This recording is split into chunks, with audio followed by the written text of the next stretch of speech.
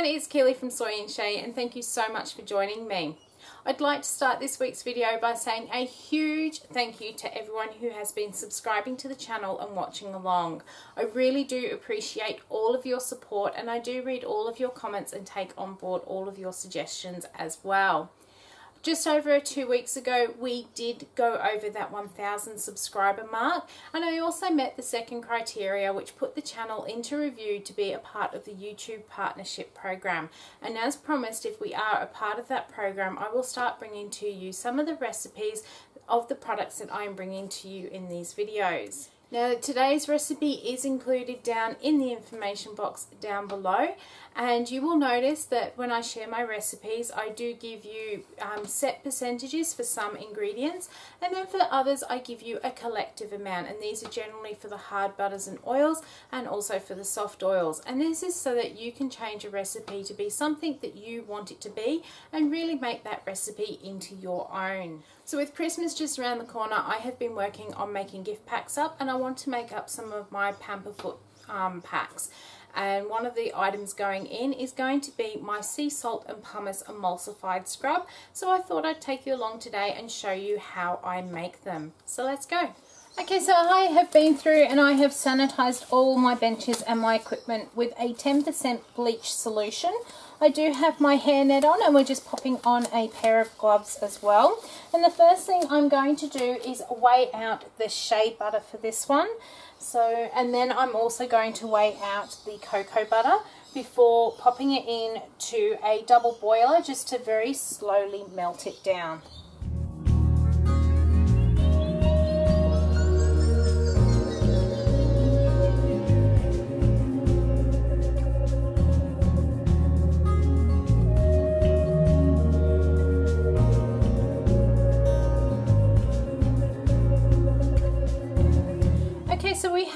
Cocoa and shea butters melted down and I like to use both of these because they are both very moisturizing butters and the cocoa butter is very skin softening and because this is for the feet I was looking for something that was going to help soften the skin on our feet which is very hard. The next thing I'm going to add in is some grapeseed oil. Grapeseed oil is known to sink into the skin very quickly and has a very silky feel to it.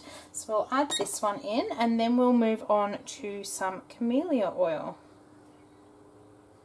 So the camellia oil comes from off the tea bush. It has a really silky, lovely feel to it and it is rich in vitamins as well. It's a very, it's a non-greasy oil which is why I do like to use it in a lot of my products and it has a very long shelf life too. So that's great for when you're creating products in mass and you know that they're going to sit on the shelf for a little while before selling. Um, and it's also known to have some rejuvenating properties for the skin cells. And I do have another bottle of this one in the cupboard ready to go.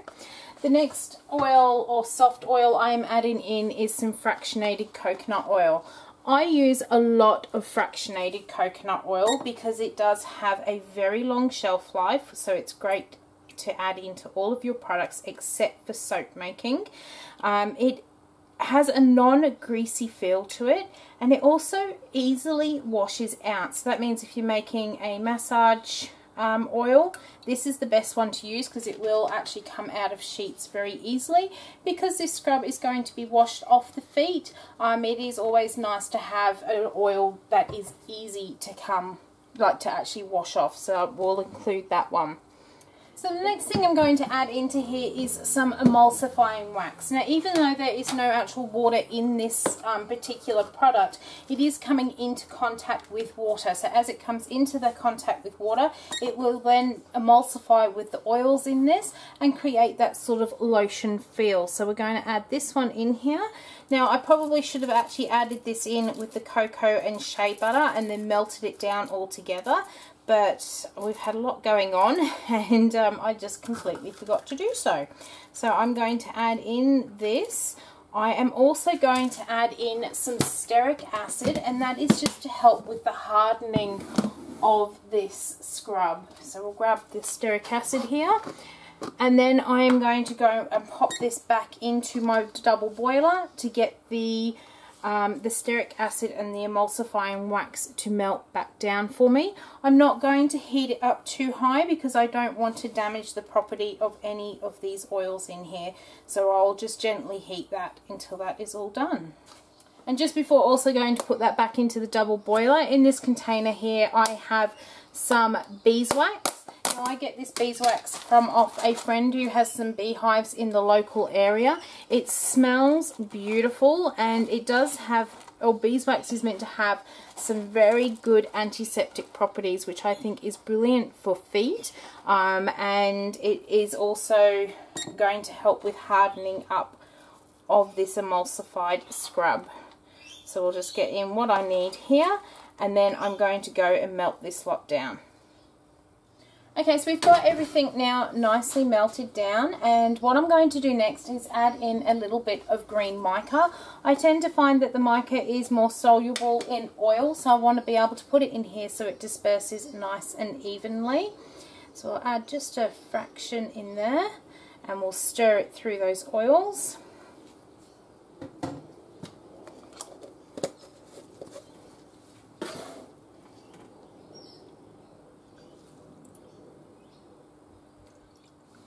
Okay, so before I do much more now, what I want to do is make, get these oils back down to a temperature that is about 35 to 40 degrees so I can add in some preservative. So I'm just going to sit and let this cool for a little bit.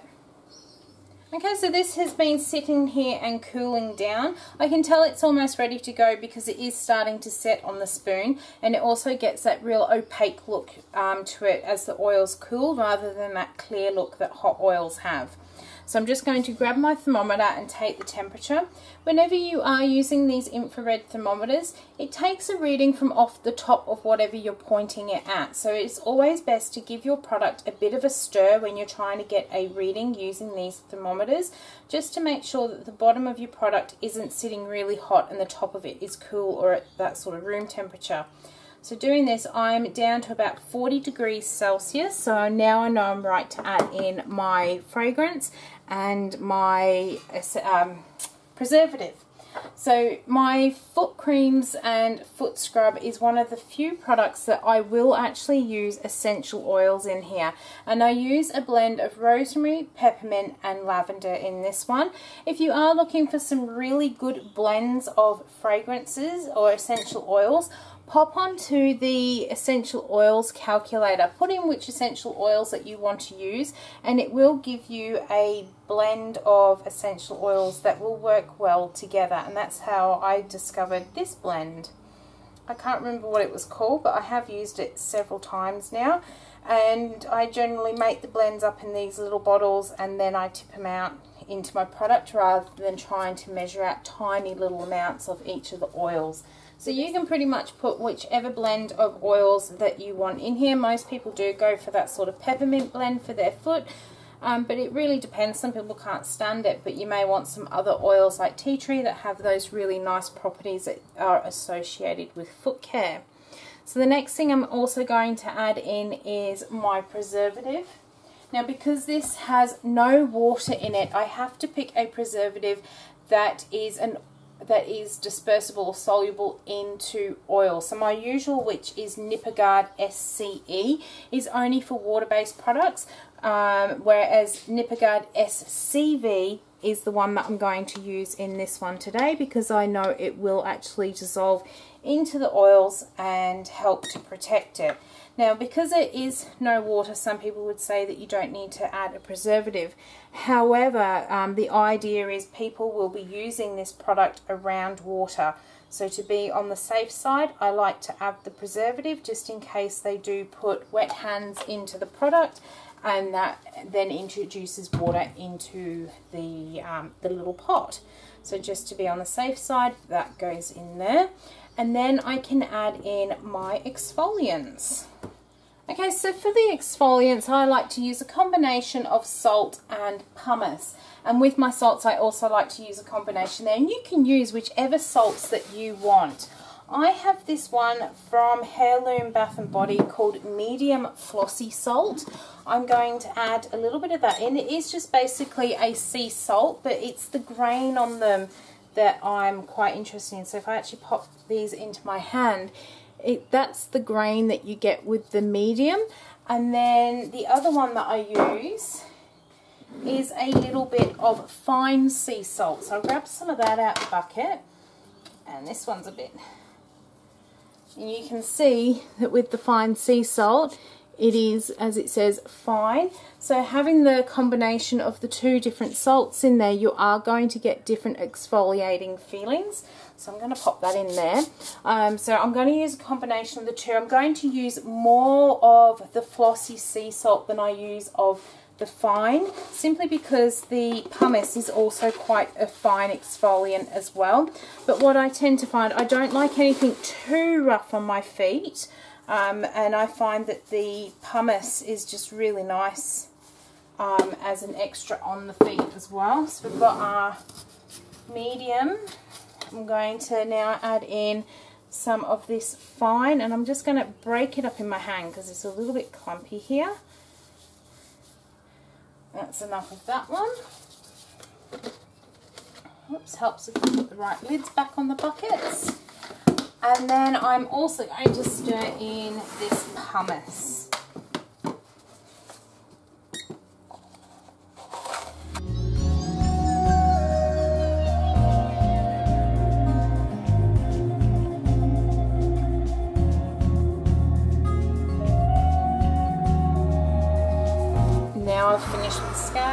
Going to pop that back there and I'm going to give this a good stir and then we're going to pot it up.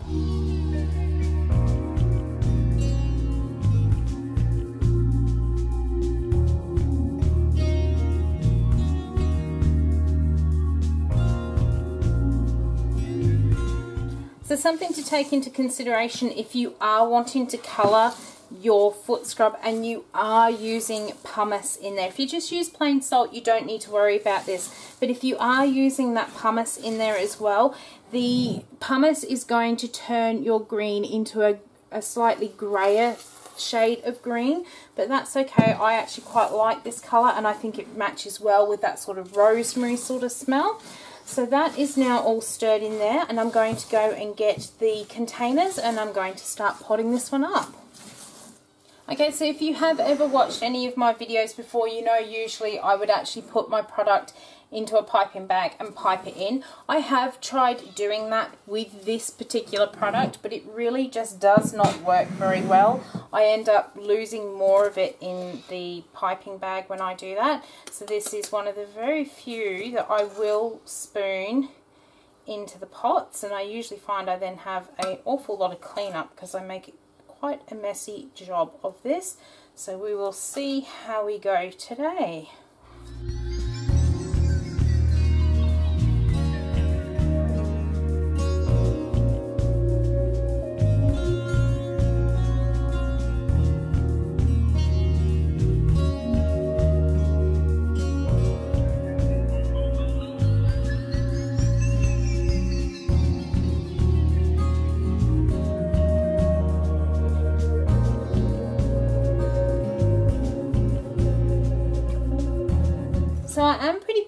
When it comes to actually weighing out the ingredients when it comes to packaging. A reason being is that we do have some quite strict packaging rules and I imagine most countries do and if it's anything like ours, it's actually quite hard to find the information about packaging. Um, but we do have inspectors come round to the craft markets and they do weigh products to make sure that you have got the correct weights listed on your products. Now they also have that sort of thing that um, you you can be over and you can be under, but there's certain percentages that you're allowed to be over and under by. And so I always do package mine up to be over what they're labelled at, but also within those sort of guidelines, which is about, uh, depending what you're making, different things have different sort of guidelines. Um, soaps are different to these sort of packages, uh, like to what's actually fully sealed and there's different rules about how you can write what the weights actually are on them as well. And because I actually weigh out all of my ingredients in percentages and by weight, everything that goes into this bowl should actually then make exactly however many products that I've said that I'm going to make. So we'll get the last of this bowl scraped out and then we should have all of our pots at the right weight. Okay, so these are now all potted up. They are still a little bit warm and they're sitting in those 30 degree sort of mark. So what I'm going to do, because it's late in the afternoon, I'm going to put a paper towel over the top of these and I'm going to leave them overnight to cool down to a room temperature in those low to mid 20s and then I'll come and pop the lids on and label them up for you. Now the reason being is if I actually put a lid on here now, because they are warm, it will build condensation up inside that lid. And even though we've got a preservative system in there, you really don't want to add any extra moisture into the product that is not necessary within there. So we'll come back later and we'll finish these off. Okay, so these have been sitting and cooling overnight. They are now all nicely set and nice and firm in the pot and all that oil has been emulsified into the um, salts in there. So now it's time to get them lidded and labelled. So I'm just going to pop all my lids on first and then we're going to get to labelling. Now, so the first thing I'm going to do is pop my little stickers on the top here and all it is, it's just my pumice and salt foot scrub. I print all of these up myself. I get the labels from Labels Express, a company here in um, in Australia, but Labels blank labels, I think they're called, or labels online. That's the American equivalent. Um, and then I print them, I design all my labels in Corel Draw and I print them all up myself on a HP laser. I just find this to be the best way for me. It means that if I need to swap an ingredient in a product, I can quite easily do that or if I decide because I suddenly start buying one ingredient in bulk that I can add an extra ingredient it's nice and easy and quick for me to be able to change the labels to what I actually need them to be and don't have to worry about getting hundreds of them printed and making sure that I use every single one of them. So we'll get the tops on there. And then the next bit that I pop around the outside of my jar we have some extra little stickers and these have got all of my ingredients the dates or to when to use it by. It's got how to use the product and all of my other details as well. And then the final thing, and I get lots of questions about this, is what I put onto the bottom of my jars. And I have these little stickers here. You can see there's quite a few on there. This I print up on a Brother label printer and these are the dates in which I make the product. So on the ingredients label there's a little bit that says use within 12 months um, of making or may even be six months it just depends and then I put the batch date on the bottom of all of these and it means I can actually print up a whole sheet of my ingredients labels and not have to worry about changing the date on them. So I'm going to get all these labels on and then we're going to um, seal them with a shrink band.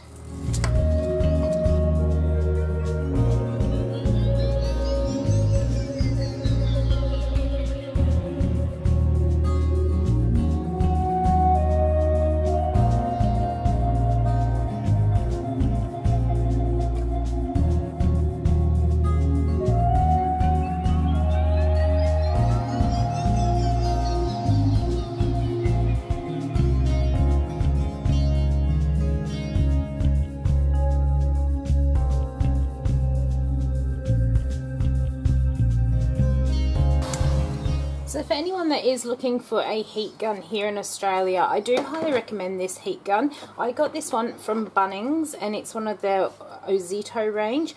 The really good thing with this heat gun, this red dial on here, which you saw me probably have a play with while doing that, it's actually a temperature gauge. So I find when I use my shrink bands, I need a slightly higher um, temperature than I do for the shrink wrap which is a lot um, lighter in weight. If I use too high a temperature, it actually bursts holes in it, so I can turn it down or up to what I want it to be. It also means if I'm doing something like lip balm that has a quite a low melt point, I can turn it down to a low temperature and know that I'm not melting the product on the inside. So it is a really good heat gun for anyone that is looking for a good one. So that is all of the pumice and salt foot scrubs done up. My next job will be to make some of the foot cream to go with it so we can make the packs up. I hope you've enjoyed watching me make my pumice and salt foot scrub. If you did, why not leave me a thumbs up and any comments down below. And if you've got any questions, I will get back to you as soon as I possibly can. And if you haven't already, why not subscribe to the channel and each week I will bring you a new video, whether it be bath and body or soap making. So until the next time, have a good one. Bye.